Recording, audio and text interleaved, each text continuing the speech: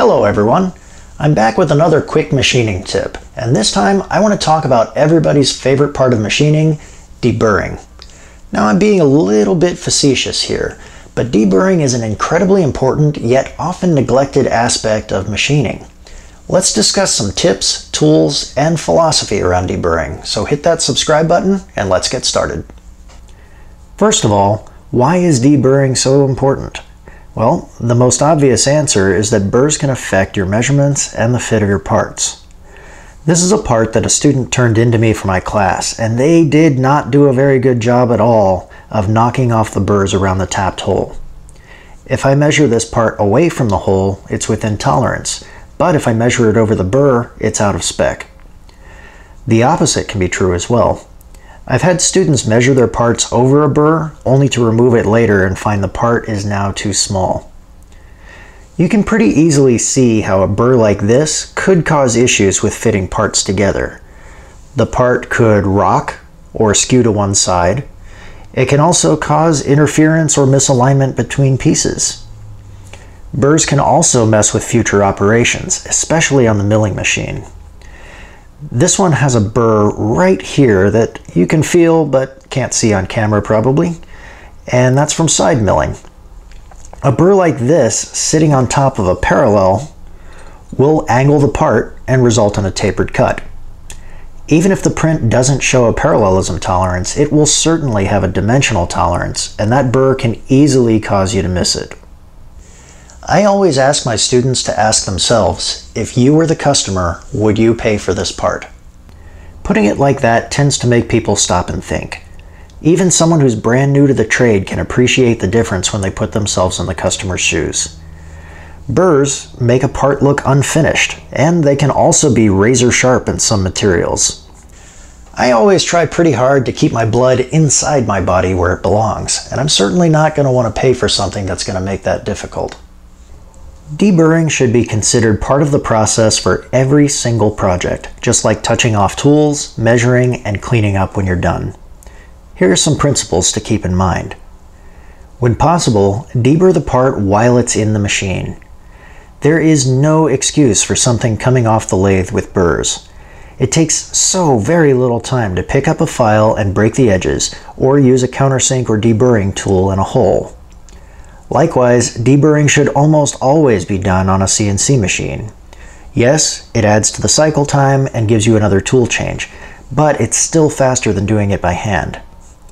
You should also always cut chamfers on your threaded parts before you thread so you don't have to remove a giant burr. Getting rid of that burr after the fact almost always rolls over the first thread and leads to even more work. This goes for internal and external threads, whether they're single point threaded or cut with a tap or die. On the manual mill, deburring on the machine is usually more trouble than it's worth unless you have a certain chamfer called out on the edges. Most of the time, it's faster and easier to deburr by hand. Finally, let's talk about tools. Of course, we have files. They're the workhorses of the deburring tools at our disposal. They come in a variety of shapes, sizes, and cuts, and it's good to have a nice selection to choose from. But if you're new to the game, start with maybe an 8 to 10 inch mill bastard file and a set of decent needle files. Those will cover the vast majority of your deburring needs. I could easily make a video just about files if I thought anyone would actually watch it, but there are two main points you should know about them. Number one, they only cut on the push stroke, so sawing back and forth with them isn't going to make you more productive. B, you can never have too many. Next up are these swiveling deburring tools. The curved blade pivots around to follow the edge of the part. They work great for quickly breaking the edges on holes either on or off the machine. They're equally at home on straight edges though, and I use them all the time on keyways and slots. Most of them have interchangeable blades, and there are a lot of different types for different materials and shapes of parts. Triangular scrapers can also do a lot of these same tasks and are also available in different sizes. Both of these work well on light burrs, but they tend to get hung up on heavier ones. I use countersinks to knock the burrs off of holes, and I keep several sizes around for my various needs. When I'm working on big jobs with lots of holes, I keep a countersink and a cordless drill. This makes breaking all of those edges a simple job. Another option is a deburring wheel on a grinder or buffer. These are abrasive wheels similar to Scotch-Brite but much firmer. They're not as aggressive as a grinding wheel but will still polish off burrs from straight and gently curved edges. They can be very aggressive with softer materials, so my advice is to start with a light touch and add pressure as necessary.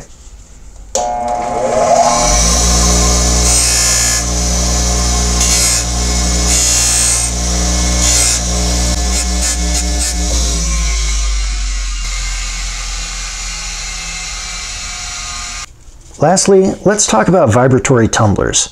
These use an abrasive medium that's held in a bowl or a drum that vibrates. The parts are thrown in and allowed to shake around for a little while until the edges are all polished off. This is a small one that's sold by Harbor Freight, but industrial units can be very large.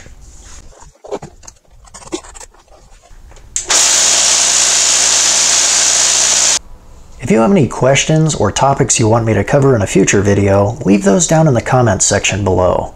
Hit that like and subscribe button if you think I've earned it, and please consider supporting my channel on Patreon like these awesome folks right here, including my newest patron, Ray Benitez. Hi there, Ray. Welcome to the club. You might also want to check out these other videos. On the right is my constantly expanding playlist of quick machining tips just like this one. I have my most recent video in the top left, and in the bottom left there's a video YouTube thinks you'll like as well. Thanks for watching. I'll see you next time.